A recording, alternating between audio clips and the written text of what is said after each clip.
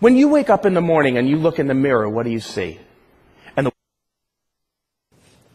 Because you have been holding it since this morning, he said. You have not let it. that one morning, instead of a lunchbox, into his backpack, he put a loaded 9 millimeter. ignoring it. I'm, I'm dealing with it every day. That's what I wake up to each morning. I get a, a thick book uh, full of uh, death, destruction, strife, and chaos. Uh, that's that's uh, that's what I take with my think mo- with my morning tea. Some I'd got up early in the morning to have a conference call with our people, and I had the TV on. I didn't. And I said, it's going to be morning soon. She said, no.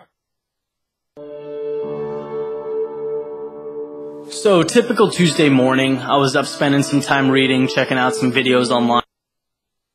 Story to help you get up get up in the morning, then uh, then I don't know what.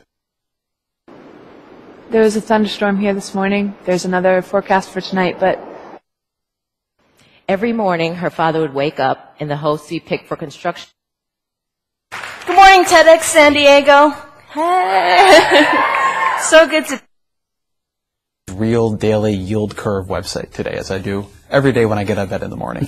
and short-term interest rates on U.S. government debt. just to keep me on track.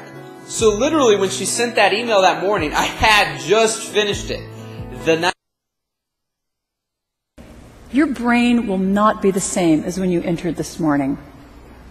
And I think You know, I'd wake up in the morning and have like a thousand emails about penis enlargements. You know, only one of which.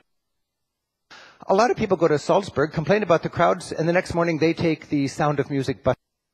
What's ever fresh in the market this morning?